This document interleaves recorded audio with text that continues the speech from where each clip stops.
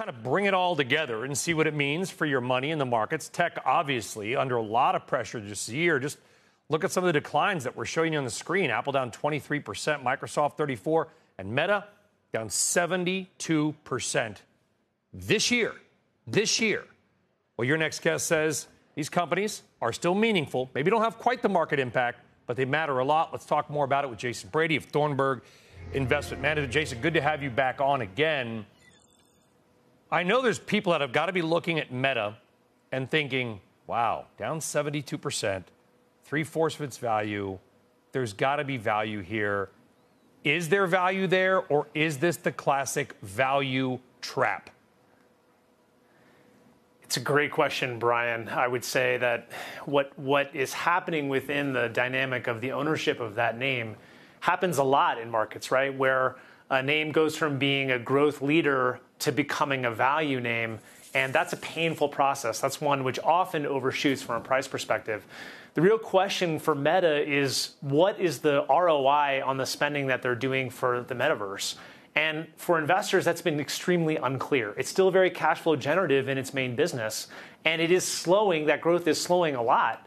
Uh, but it's a very successful business and one where you should be willing to pay some kind of interesting multiple. But the meta question is, is enormous.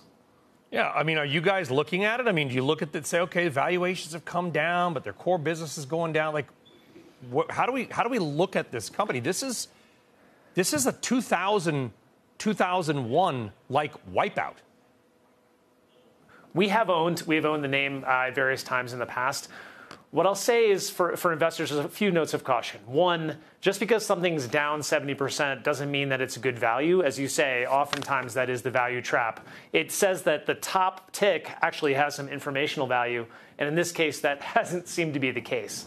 The second piece there is really what is the forward look on the organization? We've had we've had some really nice transformational moments uh, for Facebook, then Meta, uh, moving to mobile, for example, when the market doubted that.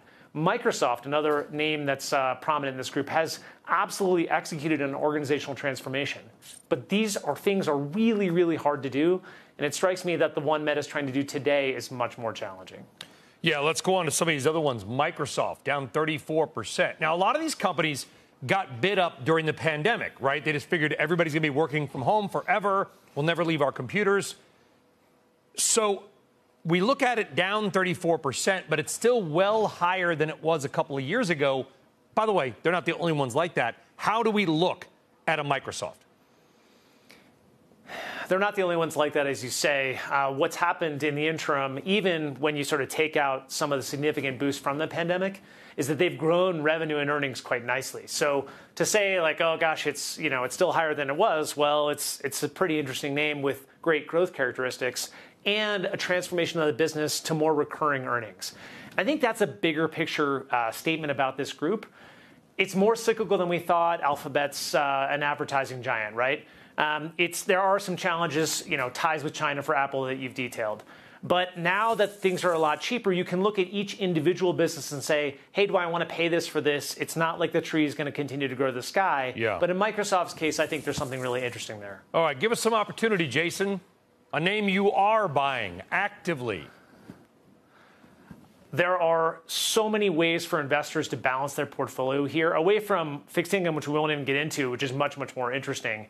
In that context, what you're seeing is quote unquote value names really start to take off and take leadership because what we're seeing is actually those names are, are interesting and still growing. AstraZeneca is a great example.